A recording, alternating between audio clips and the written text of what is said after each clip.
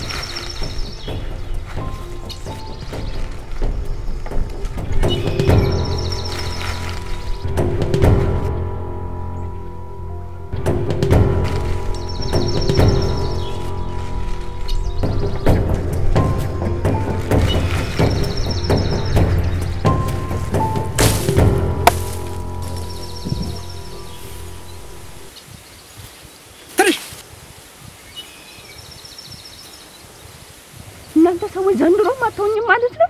ወንድሜን አሳስረሽ ዝም የምልሽ ይመስልሻል? እኔ ምን ላድርግ? የያዘው ህግ ነው። ደግሜ ደጋግሜ ነግሬሻለሁ። የእርቅ ወረቀቱን አስገቢና ወንድሜ ይፈታ።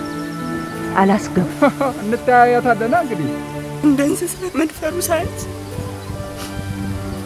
ከቤተሰብና ከትምህርት የተለያየ አሁን ደግሞ በድህነት እየተሰቃየሁ ምን አድርጊ ነው የምትሉ? ኢትዮጵያ ውስጥ መብት ይከበራል ብለሽ አስበሽ ከሆነ ተሳስተሻል። እባክህ ልጄን አሞብኛል። ይህን እንጨት ሸጬ ልጄን ላሳክም እባክህ። ለአንተ ቢሆን እኮ የወንድምህ ልጅ እቺ ምናምን ያ በእኔ በቃ ሌሎች እህቶች ከሚጎዱ በእኔ ያለው ህግም ቢሆን ትምህርት ይሰጠዋል።